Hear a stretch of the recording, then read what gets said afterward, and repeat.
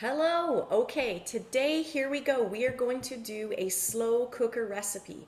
Now, honestly, for me, slow cooker recipes, I have not had a lot of luck with. I feel like everything just turns to mush and it all tastes the same.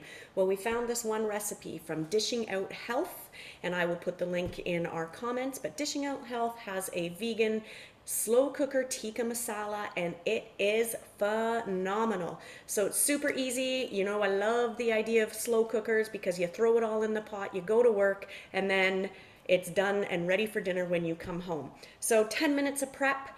And this recipe today makes about six servings, so you're gonna have a little bit of leftovers possibly for some lunches or another dinner another night. starts with four cups of cauliflower florets. So that's like a medium sized head of cauliflower. Chop it up, three cups of potatoes, which I've already chopped everything up just to keep our video short and sweet. Three cups of potatoes, it's about two medium sized potatoes.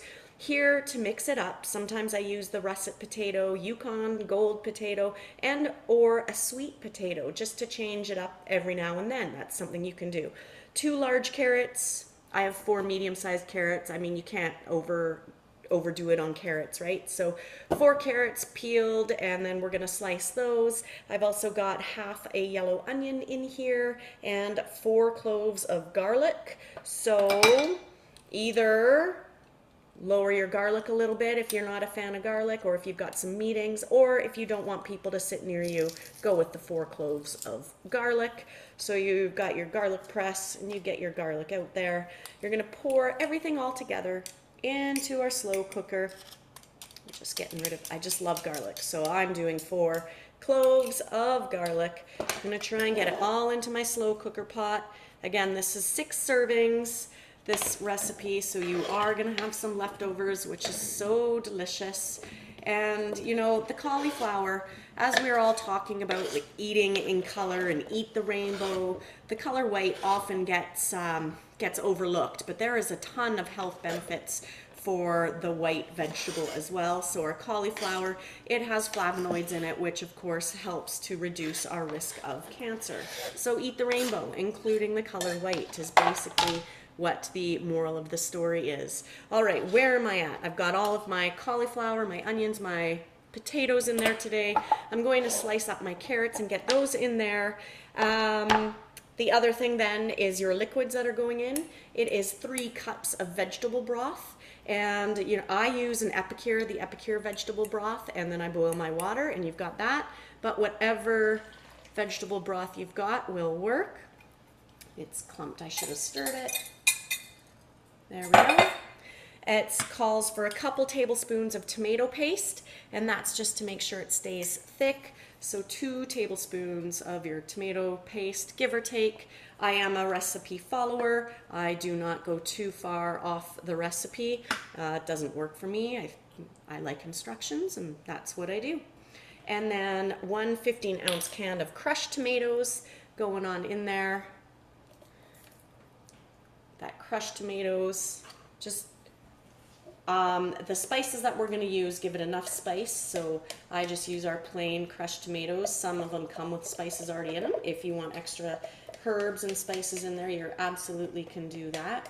So get that all that, scoop all of that crushed tomato out, out into your, need a cloth, out into your slow cooker.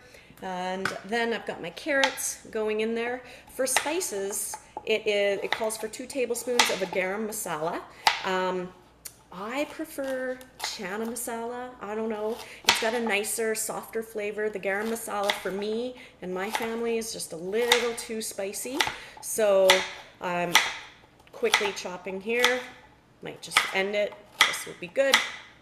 There we go. Sliced carrots going in watch your fingers. Here's what I'm talking about. So here in Alberta, chana masala, I get this in the international aisle at superstores. It is fantastic and they have a whole bunch of different flavors. But two tablespoons, two tablespoons of your garam masala or your chana masala. So in that's gonna go. Then we've got one teaspoon of paprika and we've got three quarters of a teaspoon of ground ginger. So do it do what you want there. Um, one teaspoon, three quarters of ginger. I would probably just do, you know, three quarters or one teaspoon. It doesn't hurt, I don't think. And then a teaspoon of your salt. So a couple things there. You're gonna take your slow cooker. You're gonna put turn it on to low for eight hours. And then after the eight hours, like when you come home and it's dinner time, we're gonna cook some bas- basmati rice.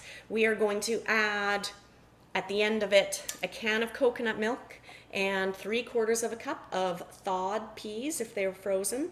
We're gonna throw those in for a little bit of greenness and then serve it and sprinkle on some fresh cilantro.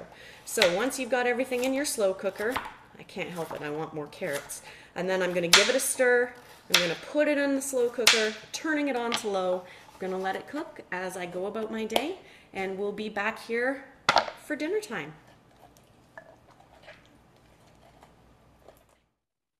Well, hi, how was your day? Okay, crock pot has been on all day, eight hours on low or four to six hours on high, and now it's dinner time. I have added my can of coconut milk. I have added three quarters of cups of peas thawed. Now I'm going to serve it up for me and my husband. I like to add in some greens like some kale or spinach at the bottom just to get that extra the extra green in there.